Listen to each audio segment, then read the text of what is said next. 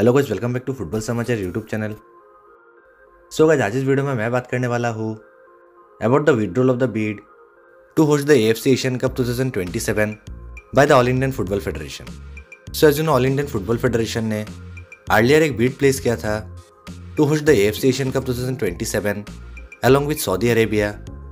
but now the all Indian football federation executive committee ने that वो withdraw करने वाला है इस बीट को to host the AFC Asian cup 2027 and all Indian football federation ने इस विड्रॉल का ये रीज़न दिया है कि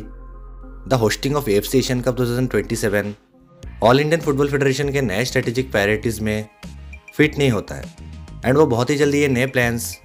अनाउंस करने वाले हैं most probably before the end of this year also A F F के एग्जीक्यूटिव कमिटी ने यह भी कहा है कि उनका करंट फोकस है to build the foundation of the proper footballing structure and to strengthen our football from the grass root to the youth development so all Indian football federation इन्हीं aspects के ऊपर ज़्यादा फोकस करेंगे before thinking of hosting big tournaments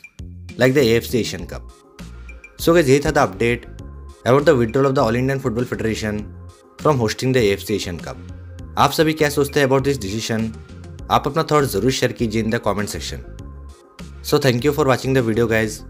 hopeful आपको ये video पसंद आया होगा। अगर पसंद आया तो वीडियो को लाइक एंड शेयर ज़रूर कर दीजिए। और चैनल पर नए हैं तो चैनल को सब्सक्राइब कर लीजिए एंड नोटिफिकेशन बेल भी प्रेस कर दीजिए।